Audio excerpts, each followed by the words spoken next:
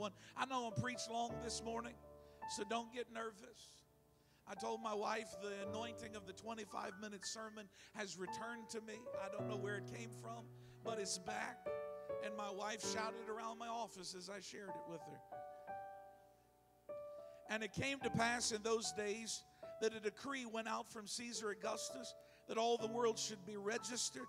This census first took place while Quirinius was governing Syria. So all went to be registered, everyone to his own city. Joseph also went up from Galilee out of the city of Nazareth into Judea to the city of David, which is called Bethlehem, because he was of the house and lineage of David, to be registered with Mary, his betrothed wife, who was with child. So it was that while they were there, the days were completed for her to be delivered. And she brought forth her firstborn son, wrapped him in swaddling clothes, and laid him in a manger, because there was no room for them in the inn. We're continuing and completing our series entitled Unexpected during this Christmas season. We first saw the unexpected message that Mary received that she would be the mother of the Christ child while still just engaged to her future husband and how that changed everything. We saw last week the unexpected guests, those who God invited to the party, the least, the last, the lost. That's who he reached out to, the shepherds, those who seemingly were the, the last person he would have invited. That is exactly who he chose to hang out with. But today we're going to talk about an unexpected destination. When we begin to travel, how many of you are planning on traveling this week for go see family or friends for the holidays? See, this is what just really irks me. Is I got to drive all over the world to see my family, and most of y'all sitting here just like, yeah, I'm gonna get up on Christmas morning, drive three miles, be at mom's house, be back in my own bed tonight. You don't know how blessed you are. See, because you you go to my mama's house and she's got three bedrooms.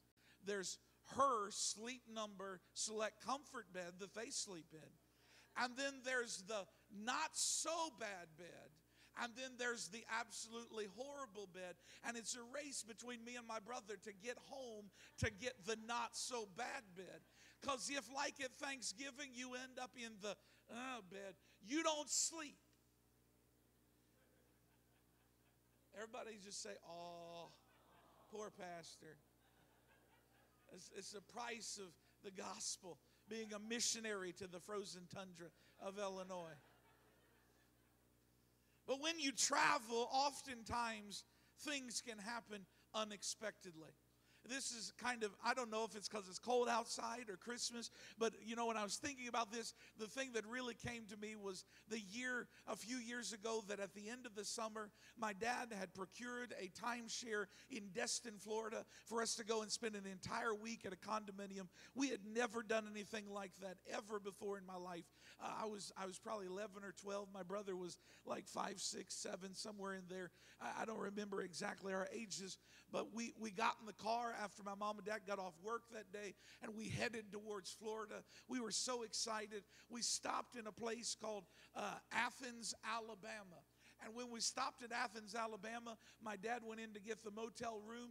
And when he came out, my brother had a seizure in the car. We ended up, we were headed to Destin, Florida for a week in a condominium. We ended up spending three days in Athens, Alabama in a hospital. It was an unexpected destination, wasn't exactly what we had planned. I want you to know this morning that in the midst of all of the miraculous things that happened surrounding the birth of Jesus because there were many miracles that happened. We, we talked a little bit about it two weeks ago about the incarnation. The fact that Mary, being a virgin, was with child through the power of the Holy Spirit. It was not a biological transaction that produced this child, but rather it was a supernatural empowerment that placed this child who would not have an earthly father, which would transfuse the blood, the sin through the bloodline into his life, but rather he was going to be born part God, part man. It's unbelievable, hard to comprehend. But then remember this reality the Bible prophesied about Jesus many different things, including that he would be born in Bethlehem. Well, Joseph and Mary didn't live in Bethlehem, but it just so happens that God put it on the heart of Caesar to put a census together so he could figure out how many people he was ruler over. And so he told everybody in the entire Roman Empire, you got to go to your hometown, be counted, and be taxed. So Joseph and Mary had literally no choice but to make a trek across the desert back to his hometown, back to Bethlehem at the exact time when Mary was about to give birth. It's miraculous the timing. You want to know else is miraculous? Mary is in her third trimester. How many know they won't let you fly on a plane most of the time in your third trimester? They'll tell you in your third trimester they don't want you driving very far in a car. Mary traveled in the desert on the back of the donkey and made it there. It's miraculous that she didn't go into labor on her way there. It's unbelievable. All of these miracles converging in this one moment. The star that's shining over the stable. I mean, the, the angels that come to sing to pronounce his birth. All of these miracles are happening on one night. And yet there seems to be a mystery in the midst of the miracles. Because as God in His divine sovereignty has put everything together so perfectly to produce this experience, we come upon here in Luke chapter number two a mystery. Because God has timed everything, God has chosen, put you, you read in Matthew where that Mary and Joseph both come from the right birth line through the right lineage, genealogy, so that they are qualified to be the parents to Jesus and all this stuff. And it's, it's really got all this together together. And somehow God, in all His planning and putting it together, because how many know, as bad as it is for you and I to put together our Christmas parties and our Christmas gifts, can you imagine organizing the first Christmas? God did it before anybody else did. He put together the first Christmas. And he's maybe in all his planning, he just forgot to sit down and go to Priceline.com and book the room. I mean, do you think that as Mary and Joseph come into Bethlehem, there's just this sneaking feeling in the heart of God? I've forgotten something. Something. I, I, the shepherds are out there, the angels are on go, uh, the taxation, it's all the right timing. They're in Bethlehem, Mary and Joseph. oh, man, I'm supposed to get a room. I don't believe that. Think about this for a minute, too, though. Put yourself in Joseph and Mary's shoes. Joseph and Mary signed up for this insane reality. They gave away their future, they put at risk their, their own reputation. Because when Mary started telling the story that the baby that was inside of her was from the Holy Spirit, people looked at her like you can imagine people would look at her. Her reputation was gone. Their marriage was already started on a shock, on, on a rocky surface because of all that they were having to deal with. And they go through all this. And the reason being is because they basically, for, for lack of a better term, signed up to be the surrogate of God because she's carrying God's baby. She's become the surrogate mother. Well, if you know anything about surrogacy, it's a con- contact contract you enter into that oftentimes, if you as a woman surrogate your body or use your body to be a surrogate mother for someone else's child, they pay you a lot of money. Because any of the ladies in the house that have ever given childbirth understand you deserve a lot of money but they pay you a lot of money. They take care of all your expenses. They do all this stuff. They make sure you have the best doctors. You go to the best hospital. All that's all part of the package. That's all part of the deal. I bet you they even buy you maternity clothes. I don't know. I've never signed up for it. But imagine if you were God's surrogate. You would think this must come with some pretty sweet perks. I bet you this is going to be this is going to be laden with great opportunities. And yet they find themselves not even able to get a room to sleep in the night Jesus is going to be born. It really didn't act, it didn't end up the way they imagined. It was an unexpected destination. But I want to remind you that even when God doesn't seem to make sense, He's usually trying to make a point. Sometimes He will he will surrender making sense so he can make a point to you. And I want you to know that the destination of the manger was unexpected for Joseph and for Mary, but it was perfectly planned by God in his sovereignty because that manger shows us three things about Jesus right off the first part that we want to know today. First of all, it shows us his rejection. He was not able to go in the room. There was no room for him in the end. There was room for many other things but there was no room for him in the end. It is interesting to me because oftentimes what we in our own human feelings and our emotions try to avoid at all costs is a thing called rejection.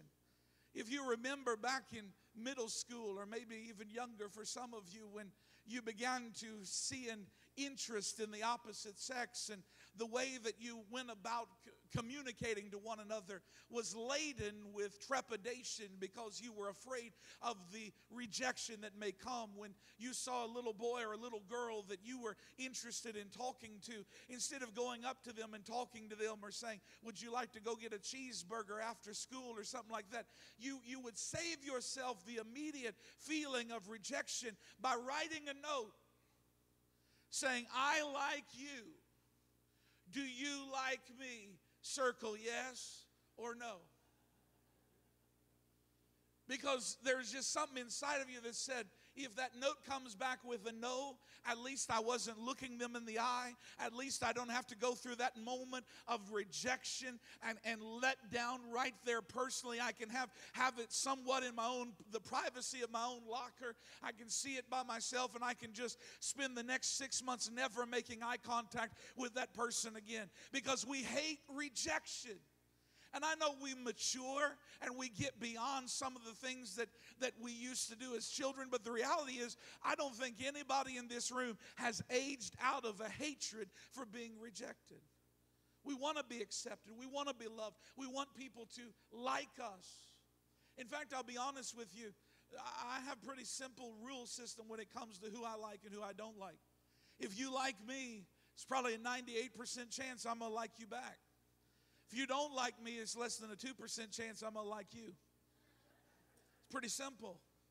I like to be liked. People who like me make me want to like them. People who don't like me make me want to not like them. I don't like being rejected. I don't like feeling like people don't like me or don't want to be around me or think negatively of me. But understand this the Bible tells us in John chapter number one that in the beginning the Word was God and the Word was with God. Speaking of Jesus being the Word and that Jesus spoke into existence all the worlds in which we see. He created humanity, He created all all that we see. And then the Bible says that he came unto his own, and his own received him not. Jesus understood before he came that he would be rejected. He did not have this grand scheme in heaven where when God comes to him and says, We need to send, I need to send you, Jesus, to the earth because they're sinners and they need a Savior. And so I'm going to send you. And Jesus didn't sit there and go, Oh, I bet this is going to be awesome. They're going to be so excited to see me. Everybody's going to worship me. Everybody's going to love me. No, Jesus in heaven understood that the moment he came to this earth, he was going to face the rejection of humanity. He understood that we wouldn't understand him. He understood that we wouldn't be able to comprehend who he really was. And he understood that due to our own sinfulness, we would become jealous and hateful towards him, and we would ultimately reject him. And yet, understand this he came anyway. What an amazing reality.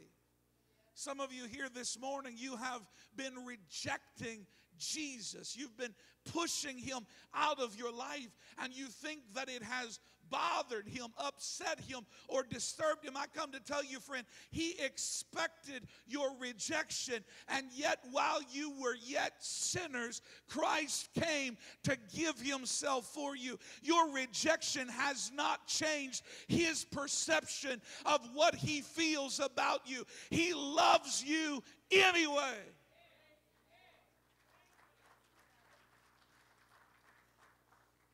This world is rejecting him in unparalleled fashion. It is amazing to me Don't get me wrong. Scripture does not tell us to celebrate the birth of Jesus. It tells us to celebrate his death, burial, and resurrection as oft as we can through communion. But it doesn't say anything about celebrating his birth. I understand that Christmas, in its origins and its present day celebration, have some secular and even heathenistic connections. But the reality is this in the United States of America, the season of Christmas has traditionally, for centuries, been a season when we celebrated Jesus coming to the earth. But now we have arrived in such a politically correct society that they don't want us to celebrate Christmas anymore. They want to turn it into the winter holiday. Let me submit to you something. I am for freedom of religion. That is why I don't want them to change Ramadan into something it isn't. I just choose not to celebrate it since I'm not a Muslim. I don't need them to change Hanukkah into something it isn't. I'm just not going to celebrate it because I'm not an ancestral Jew. You got to understand that Christmas is the season that we celebrate the birth of our Savior. And if you're not cool with Jesus being the center of our celebration, get your own holiday.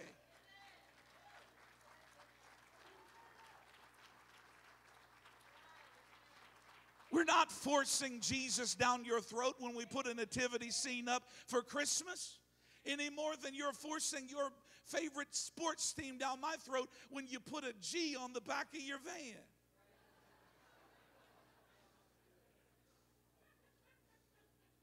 Just celebrating who we are celebrating Jesus. The world is rejecting him. But I love it because as much as we try to take prayer out of our schools, uh, you, the latest thing is they've got a lady who's suing the Gideons and trying to remove every Gideon's Bible out of every motel room in the entirety of the United States of America. That's her goal. She wants to remove every Bible out of the motel rooms. They're taking Christ out of Christmas. All of this rejection. And yet, I got good news for you. As much as we shake our face in the in the face our hand in the face of God and reject him, Jesus still looks down upon us and says, I knew you was going to do that and it doesn't bother me a bit cuz I still love you and I'm still available to you. You can reject me, reject me, reject me, but you're never going to cause me to stop loving you.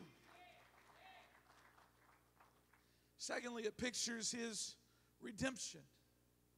When you think about it, where else should a lamb have been born than in a stable? Where else should a lamb have been laid than in a manger filled with hay? We understand that we celebrate Jesus coming to the earth and Christmas time, but we also recognize that Christmas's entire existence is to produce Good Friday and Easter. Jesus did not come to the earth to see what living like us was like. Jesus did not come to the earth to teach us and to preach to us. Jesus did not come to the earth to work miracles and to do mighty wonders. He did all of those things, but don't ever miss the fact that Jesus wrapped himself in human flesh, get, landed in the manger, all the while with his eyes firmly planted upon a cross in his future. He knew he was being born to die the Apostle Paul tried to help us remember that redemption is at the heart of the Christmas story. In two passages, he writes about the incarnation. Galatians 4 4 and 5, he said, But when the fullness of time had come, God sent forth his Son, born of a woman, born under the law, to redeem those who are under the law, that we might receive the adoption as sons. Jesus came to redeem us. Philippians 2 5 through 8 said, Let this mind be in you, which was also in Christ Jesus, who being in the form of God, did not consider it robbery to be equal with God, but made himself of no reputation, took the form of a bondservant, and came in the likeness of men. And being found in appearance as a man, he humbled himself and became obedient to the point of death, even the death of the when sin entered into humanity in Genesis chapter number three, immediately God instituted the sacrifice to cover the sin. throughout generations, they had offered sacrifices to cover sin. But the problem is, as soon as the blood would dry, there would be new sin needing covering. And year after year after year, they would offer the sacrifices. Year after year after year, there would be this empty reality as they realized that the blood had covered their sin, but they were still sinners.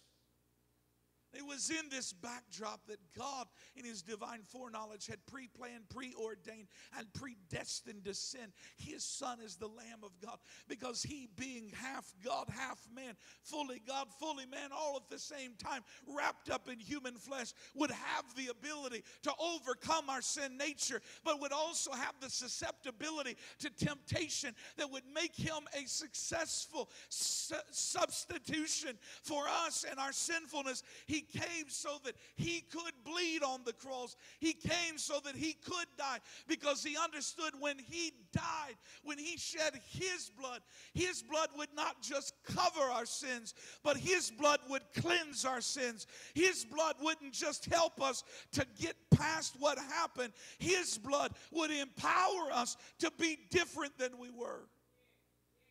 Somebody said, Well, did it work? Well, we read in Revelation John said, I saw a book. And I said, anybody going to open the book? Because that book was the destiny of humanity.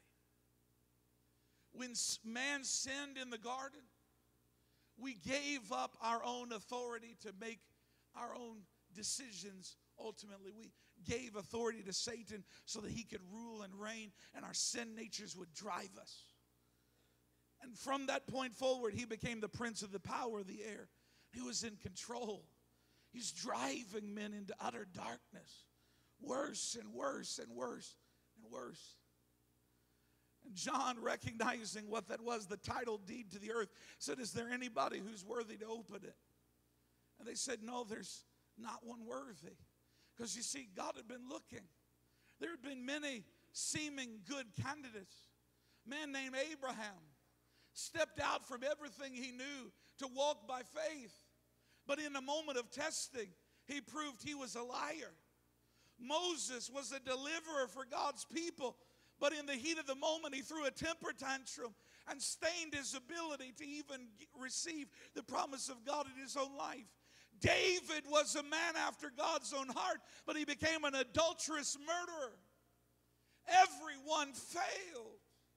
Everyone fell short. And John said, I began to weep because none were worthy. And then the angel tapped me on the shoulder and said, Look, behold the lion of the tribe of Judah. And he said, I, John, turned and saw a lamb as if it had been slain before the foundation of the earth. And he said, This is what they began to say worthy worthy to take the scroll and open its seals, for you were slain and have redeemed us to God by your blood out of every tribe and tongue and people and nation, and have made us kings and priests to our God, and we shall reign on the earth. And he goes on to tell about others who joined in the worship, because here's the reality Jesus came as the Lamb of God, He paid the price for our sin, and it worked. He was enough.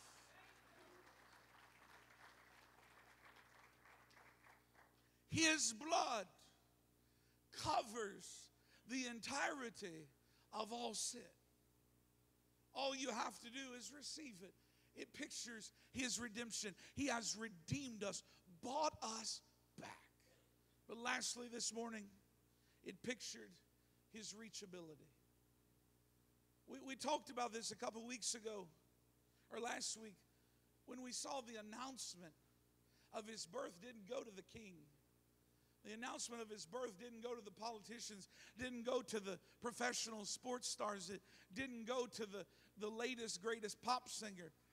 The announcement of his birth went to the dirty, dingy shepherds, the people nobody else wanted to be around.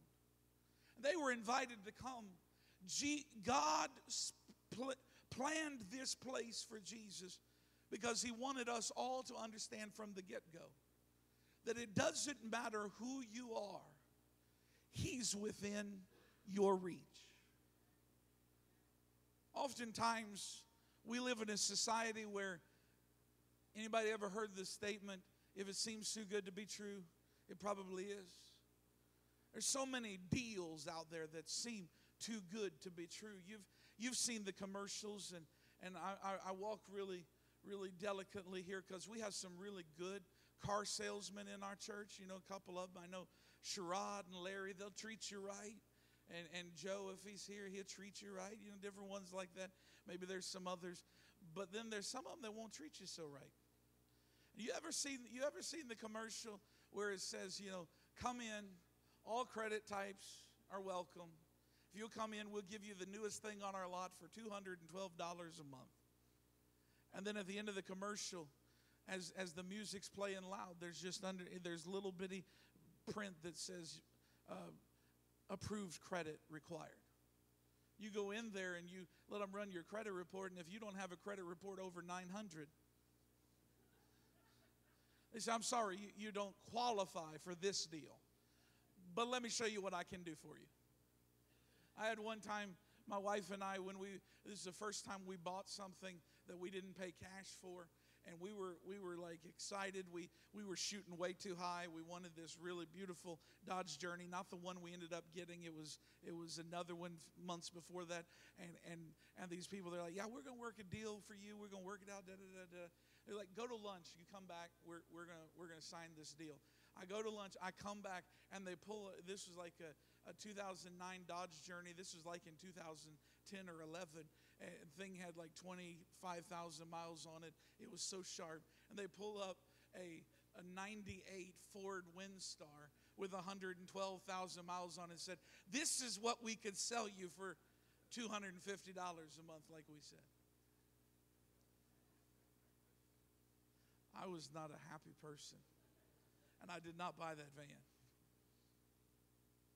But sometimes it feels like your whole life, everybody's always opportunities and you're unqualified. You hear about a, a grant that somebody else got, you apply for it, you're unqualified. You hear about a job somebody else got, you apply and you're unqualified. You, you, you tried to get on the sports team at school and they said you're unqualified. You tried to go to a certain college, they said you're unqualified. It just seems like life is filled with moments where you want to better yourself. You want to do things. You, you want to get out of the mess you're in, but everywhere you look, every time you reach out, it's unqualified, unqualified, unqualified. But I want to tell you this morning this gospel that I'm preaching to you today anyone in this room. The only thing it takes to be qualified to be saved by Jesus Christ is to be a sinner. If you're perfect here this morning, if you have never sinned, if you've never done anything wrong, if every time in your life you've done the right thing, I've got no good news for you. But for the rest of us, that have fallen, for the rest of us who've made mistakes, for the rest of us who've done the wrong thing on purpose, just rebelling against God.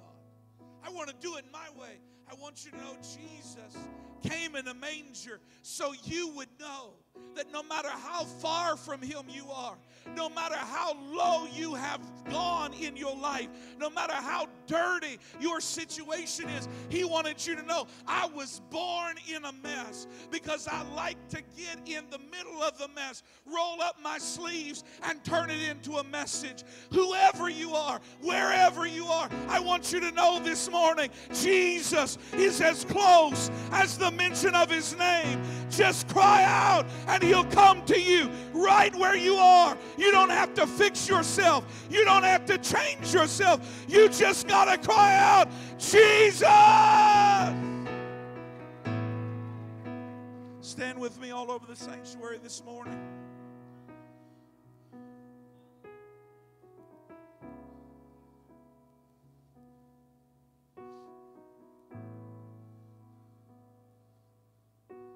Tell you, last night I watched Dallas Cowboys surrender the sixth game they should have won this year that they did. I'll tell you, being a Cowboys fan this year is reminiscent of being a Cubs fan from years gone by. Just find a way to lose. One father was watching the football game one night. His little girl was asking him all kinds of questions. And he, he, he'd been busy all week, he'd worked hard.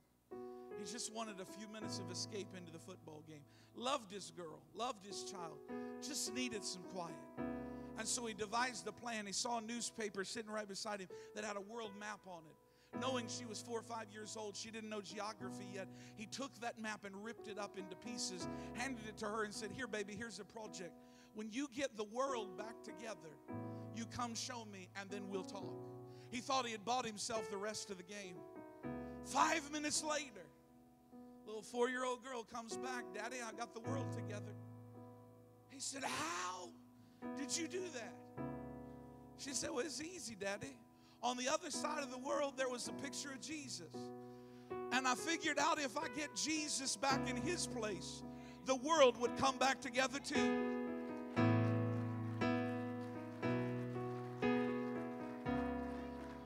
I know that's awful simple, but it's awful true. Your world has fallen apart around you.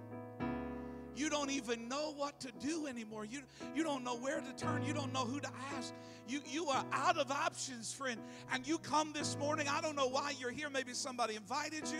Maybe you felt religious obligation to be here. Or maybe you just stumbled through the door. I, but God brought you here to let you know that everything may have fallen apart in your life, but you are as close as getting Jesus back in the center of your life for everything else to come back together. If you can get him where he belongs, your world will begin to make sense again. But until you get him back in place, nothing's changing. Every head bowed, every eye closed, no one looking around for just a moment. You're here this morning. You say, Pastor Ryan, I need to get Jesus back in his right place. You're here, maybe you've never trusted in Christ. Maybe you've never made him Lord of your life.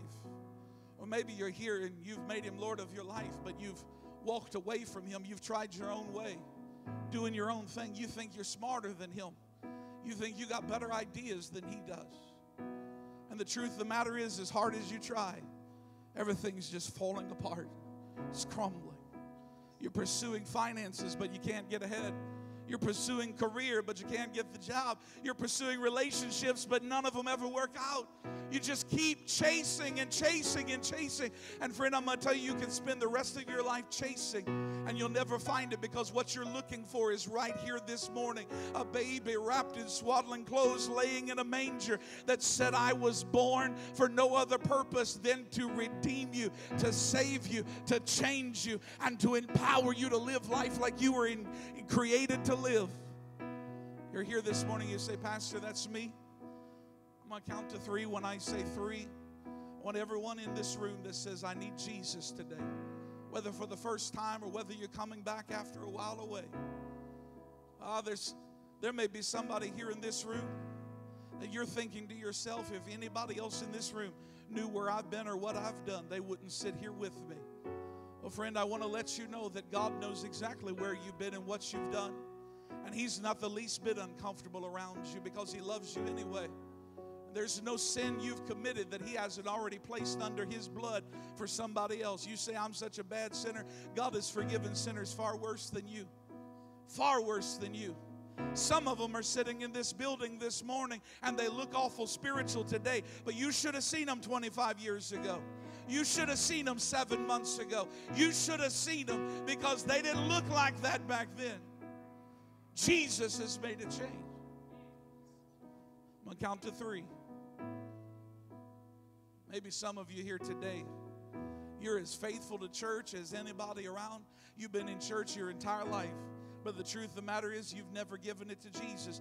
You'll split hell wide open just like any heathen you know. Because Jesus is the only way. He's the only one who's worthy.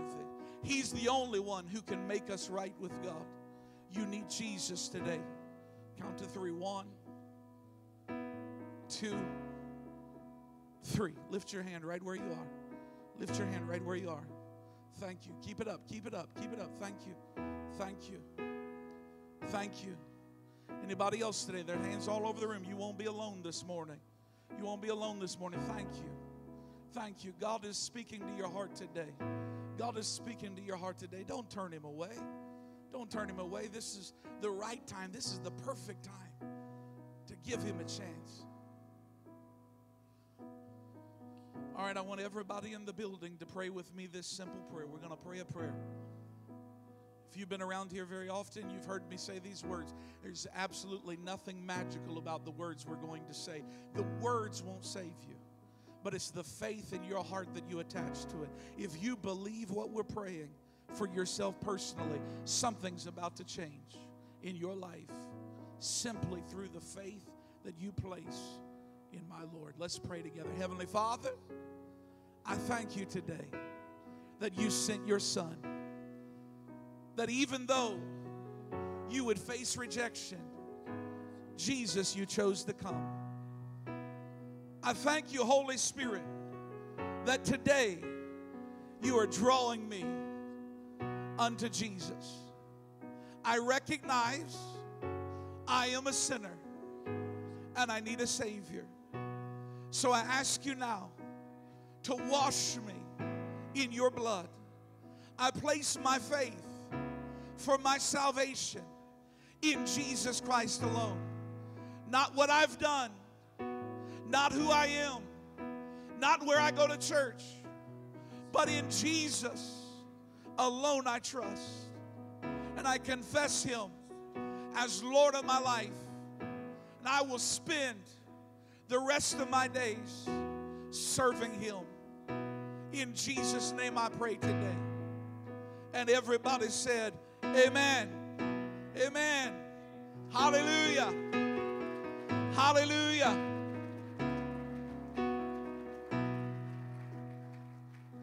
Now, I'm not going to make a spectacle out of anybody, but here's the deal. We've all been there, done that. We've all had our moment.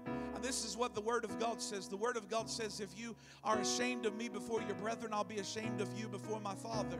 But if you will stand for me before your brethren, I'll stand for you before my Father. You and I need Jesus to be on our side. We desperately do. And so all He asks of us is to take a step of faith, of confirming our faith by saying, I am one of them. And I wonder if you raised your hand this morning and you prayed that prayer and you would just have the audacity and the confidence and the faith to step out of your seat and come to this altar right now and just proclaim to everybody here, anybody that's watching, said, Today I gave my heart to Jesus. Today is the beginning of a brand new day for me. Anybody this morning, you got the confidence to do it. Come on, come on. Come on, don't be afraid. Don't be afraid. Don't be afraid. I'm not going to pull you out of there. I'm not going to not going to make a spectacle of you, but I'm telling you, it'll make you feel better if you just testify a little bit. If you just let everybody around you know something just changed. Thank you. Somebody else today. Anybody else? I'm going to wait for you about 20 more seconds. Keep it coming. Keep it coming. 20 more seconds. You got 20 more seconds to let the world know you're different. 15 seconds to let the world Jesus saved your soul. Oh, 10 more seconds.